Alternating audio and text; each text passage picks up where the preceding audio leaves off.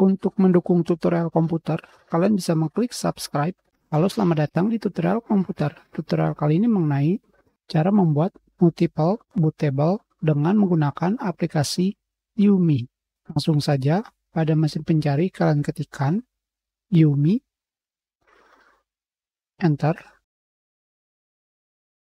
Selanjutnya di sini kalian bisa pergi ke website yang ini ataupun yang ini, sama saja. Selanjutnya di sini pada bagian bawah, aplikasi Yumi terdapat tiga varian, yaitu Legacy, Wi-Fi, dan Expert. Tentu saja jika kalian mengira bahwa kalian harus menginstal yang ini versi Wi-Fi, di sini pada versi Wi-Fi terdapat peringatan bahwa variasi ini tidak direkomendasikan. Kalian bisa melihat di sini update terakhirnya adalah bulan Juli 2022. Jadi versi manakah yang harus kalian gunakan? Yang harus kalian gunakan adalah versi Yumi Expat.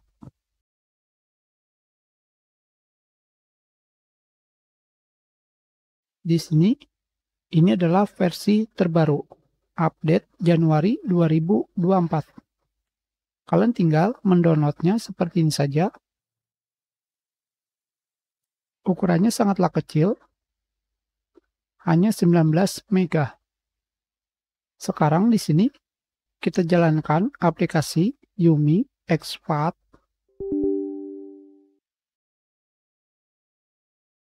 Kalian pilih I agree. Kalian pilih tempat penyimpanan seperti flash drive, tentu saja kalian harus mengetahui di mana lokasi flash drive atau flash disk kalian.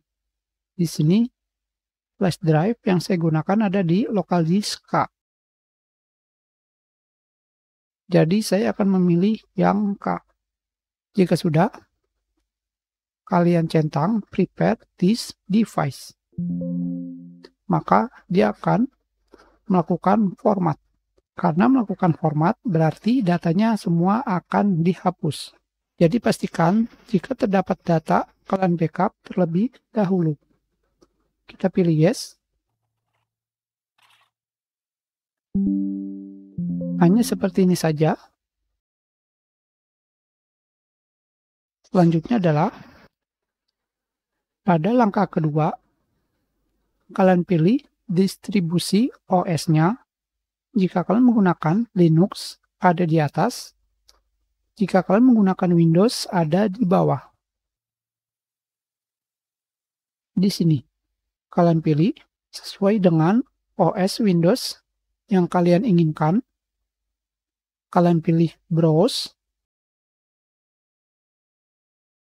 Dan kalian pilih Open atau klik dua kali. Dan kalian pilih create. Kalian tunggu.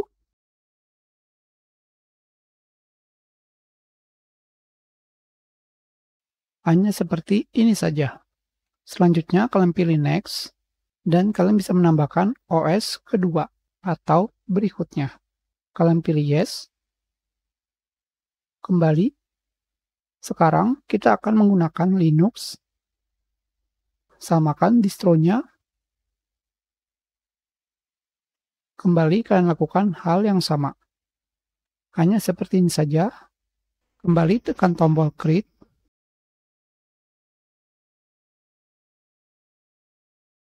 Sudah selesai. Sekarang di sini kita pilih no, karena kita tidak akan menambahkan OS lagi. Finish. Dan sekarang ini adalah isinya folder Ventoy folder Yumi.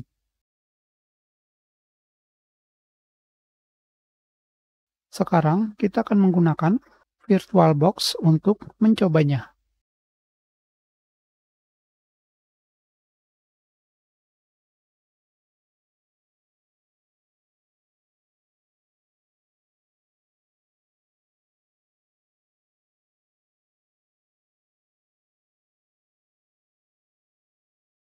Sekarang di sini kita masukkan tempat penyimpanan yang berisikan Yumi. Tentu saja jika kalian harus melakukan booting dari tempat penyimpanan flash drive ke komputer. Karena saya di sini menggunakan VHD. Hanya seperti ini saja.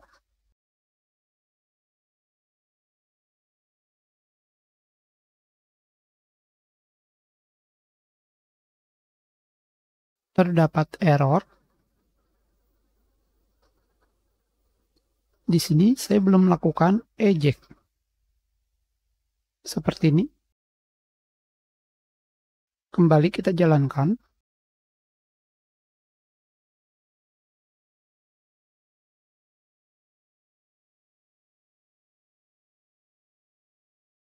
Sekarang kita sudah berhasil menggunakan Yumi.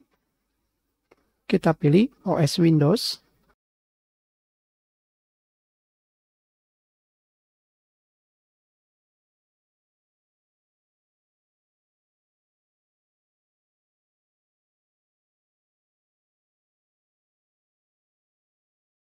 Kita sudah mencobanya. Sekarang kita keluar Sekarang kita coba OS Linux.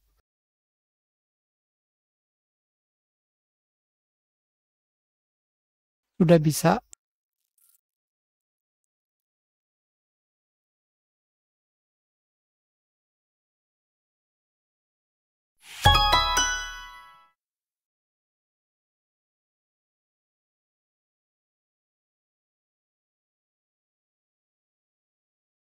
Sekarang kita sudah berhasil menggunakan Linux.